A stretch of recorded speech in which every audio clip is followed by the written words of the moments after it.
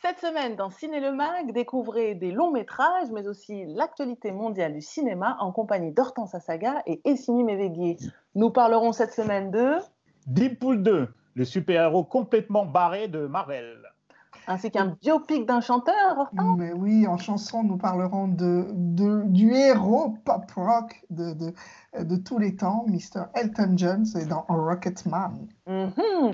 Avec nous également sur cet écran, un monsieur qui nous vient de Madagascar, Manawan Laz. Tawolia, bonjour tout le monde. Un petit message à nos téléspectateurs qui vous regardent.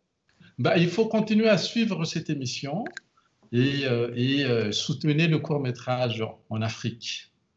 et à Madagascar, les rencontres du film court que vous organisez depuis 2006. Rendez-vous samedi à 19h50 sur Canal+, et continuez de regarder des films avec nous.